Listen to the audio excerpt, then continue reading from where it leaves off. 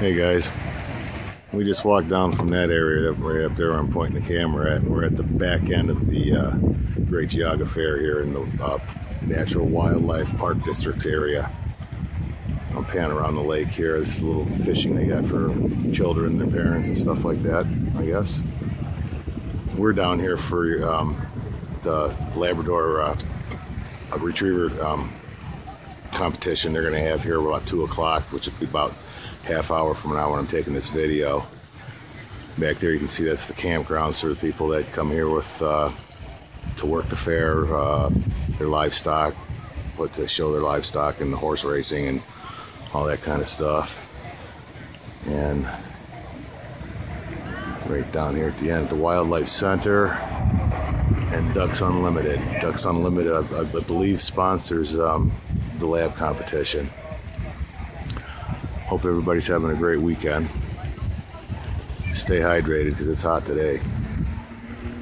Bye. Month old male yellow Labrador retriever. He already holds his junior hunter title. That's no small accomplishment. And he's going to compete in the senior hunter trial this coming fall. And I think Benji and Pal are going to do a, a double, right? With a with a distraction. This is really cool. We're going to have one come in from the east side of the pond. And we have a duck in the water.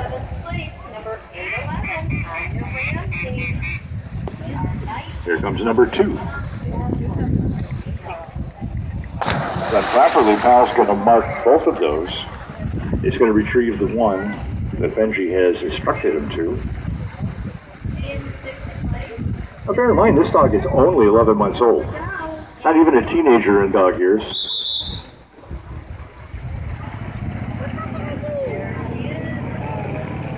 Look at the speed in which he dog paddles. Place, number 306, Sophia Kuzner and Morgan Palmer with Starfire. Christmas. And for our visitors, if you notice, these horses are all very wonderfully costumed and they just like to follow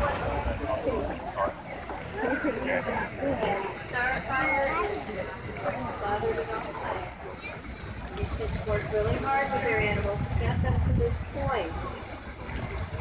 In fourth place, number 128, Destiny Gibbons and Queenie.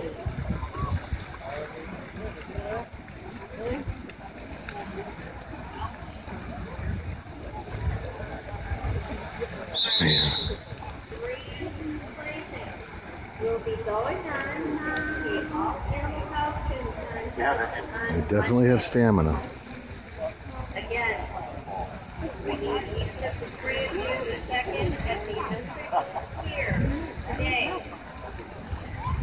in third number 217, Natalie. Hey everybody, look at me, look what I got.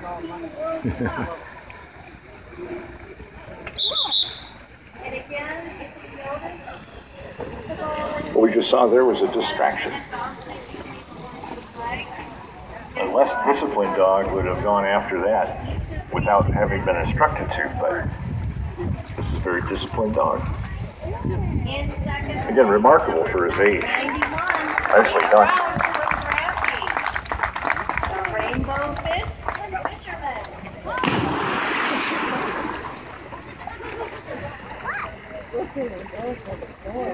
And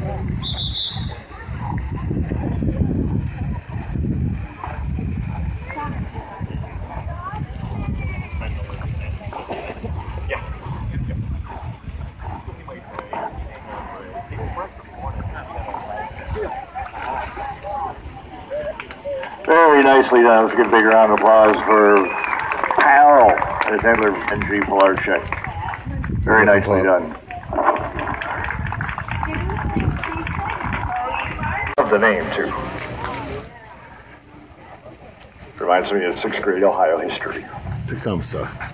We will be heading into our 30 minute break. Here.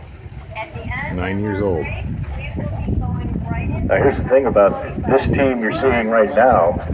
Uh, Bruce does not completely handle Tecumseh. Had not handled Tecumseh since last fall. Did a little bit of training this morning. But this is an exceptional dog. Will, uh, I think he'll do fine. And four in four different events. Showmanship, English equitation, Couldn't see the bird.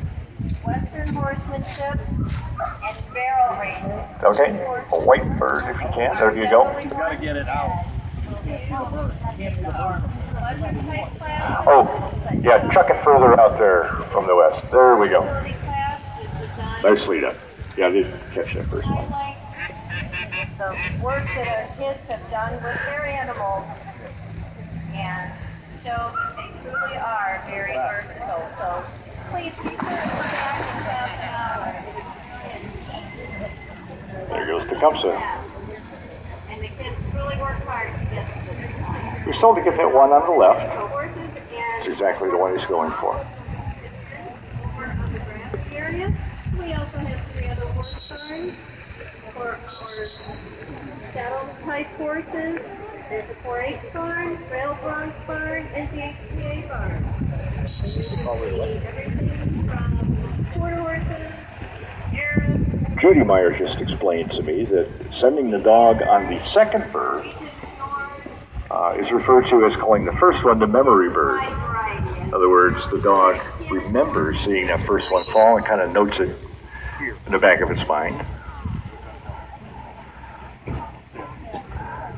So don't believe what they tell you about a dog's short attention span. He knows he's got to go back and get that other one. Here we go. And you know, his entry is a little bit different from some of the other dogs you've seen. He enters the water like maybe I would enter the water on a day like today.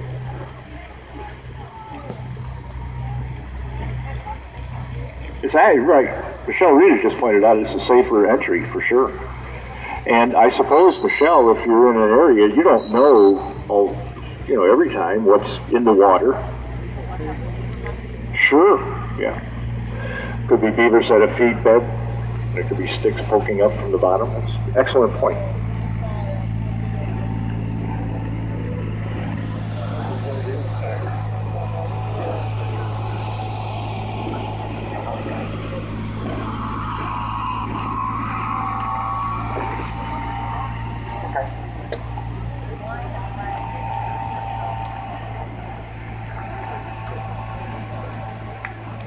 Just gonna heel, sit.